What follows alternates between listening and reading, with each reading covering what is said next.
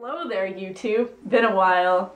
I thought I would have put up that last vlog a little sooner, but as you can see, I'm kind of not at the same location. The walls are weird, they're the same color, weird, but I have spiders and a bird that fell over and these weird curtains. I thought I would have put up that last vlog a lot sooner, so what's happening now is I'm putting up a lot of vlogs the same time, which is good for you, but it wasn't how I wanted things to work out. Since I stopped vlogging, I finished the fall semester at school. I went shopping like a mad woman for Christmas, came home, started working again, and celebrated Christmas. Oh, where did it go? I got an iPhone. Look, it's shiny and it's new. And I currently have a carousel as the background. I like Instagram a lot. It's my new thing. I'm one of those people now. So what led me to stopping Vlogmas before was that I was literally pulling all-nighters every single night and to add vlog editing on top of that, I was just gonna die. It was a very stressful end of the year. I'm a senior now, so I think I've expressed that, but I want to state it again.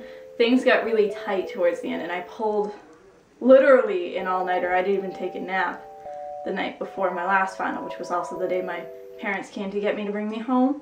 Um, however, if you remember Kim from when I went to the Lou Connor concert, well, Kim came to visit me at college for a little bit, and I actually vlogged while she was there, but I was way too busy after that to finish all of my classes to edit those.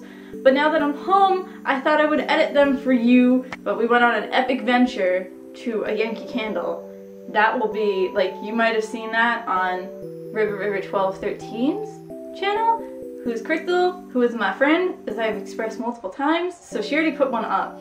The reason I didn't put up my Yankee Candle vlog was because I was kind of afraid that I might have put some information about gifts in there, so I didn't want to spoil anybody. So I didn't put that in at all, even though I'm pretty sure there were no spoilers. It was just to be cautious. Well, I hope everybody had a wonderful holiday, and I'm back for you, YouTube. So expect more vlogs from me soon. I will catch you later.